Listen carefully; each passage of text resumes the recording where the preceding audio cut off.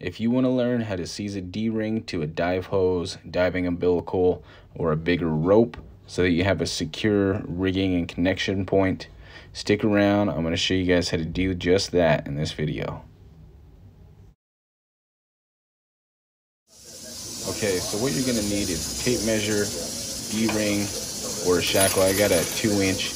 You need some scissors. I got about six or seven feet of twine. And of course I got a dive hose, which I'm gonna be seizing to. Okay, so we got our dive hose here. I got our two inch D-ring. We're gonna take our twine here, get everything laid out. And I'm gonna go behind both of these. So let's go behind the dive hose, behind the D-ring. We're gonna go pull it back through to us. We're gonna take that tail end and put it under the rope and back up. Now we're to take that tail end and wrap it around the top of that eye. So if you can see that there, I'm wrapping around about four times. And we're just effectively what we're doing here is just making a simple timber hitch. And uh, and the most important part here is you just want to make sure that this this is not getting bunched up when you pull tight on it. See when I pull tight, it's not cinching up like a noose. It's it's wrapped around, but it's wrapped around evenly. If it bunches up, then you want to restart. So you're looking for something like that. And so it's going to take a minute, especially with the if you're using a D-ring and a hose just like this, it's going to be a little awkward. That D-ring is going to have some weight and want to fall back, but just be patient with this part this part's a very important step. If it bunches up on you, um, then you're going to have to start over because it's going to throw off everything else. It's going to leave a big bump in your knot. So we take now our working end. We go make a pass around. We're going to make a couple passes around here to get things started. And as you're doing this, you want to hold that hitch with the finger and pull everything nice and tight. You want to keep make sure everything's nice and taut here as you're doing this. And so, and I did cross back over to the beginning there, as you can see. So now we're just kind of starting over. Make sure everything's nice and tight there. You can see how that D-ring's kind of crooked right now. That doesn't matter. We just want to keep it nice and nice and tight. As long as it's nice and tight, it will straighten itself out. So now we're going to keep going here. We're going to make some passes. And the important thing with this, with that first hitch that you did there to hold the line so you can get started, most important thing there is to make sure that that tail from that gets tucked in. So you, you can see here, I'm tucking in that tail as I continue my wraps. So we want that to be nice and hidden, but we also, by doing this, it's going to make sure that it's it's also nice and tight and being held by the, the seizing here.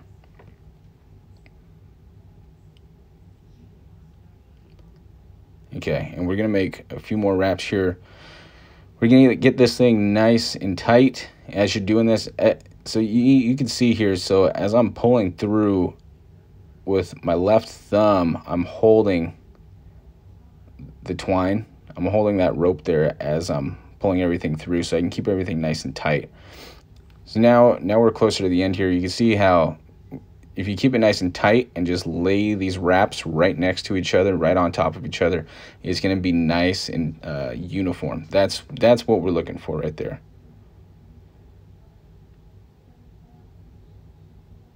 So we're getting one more here.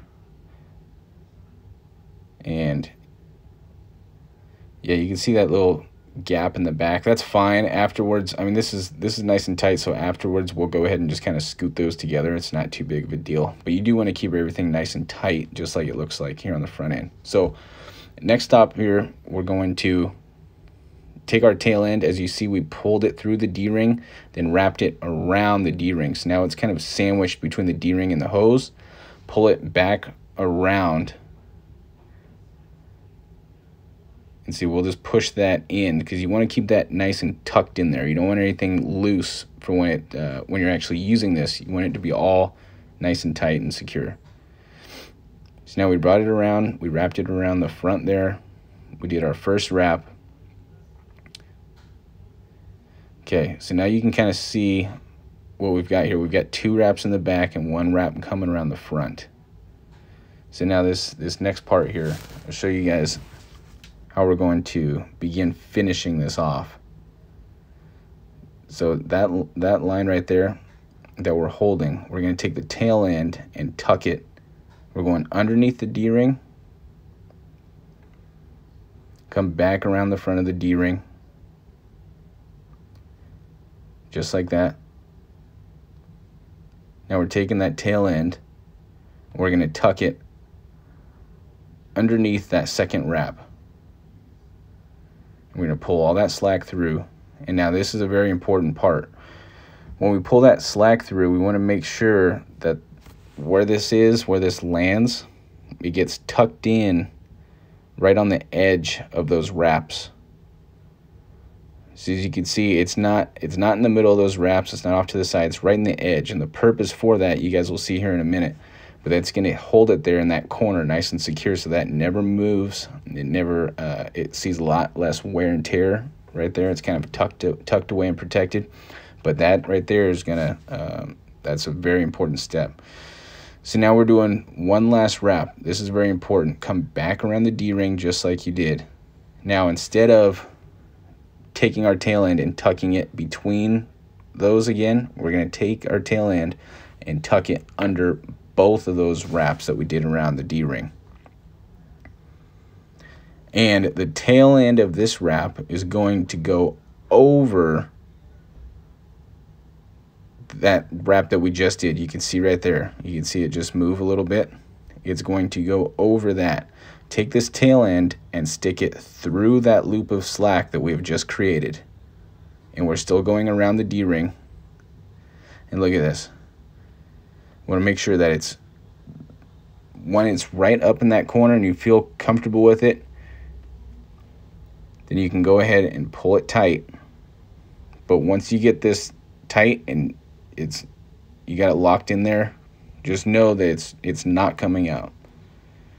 So now we can go ahead and pull that slack through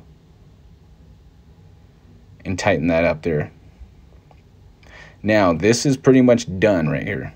We do have a little bit of gappage there. We just have to slide the wraps closer together.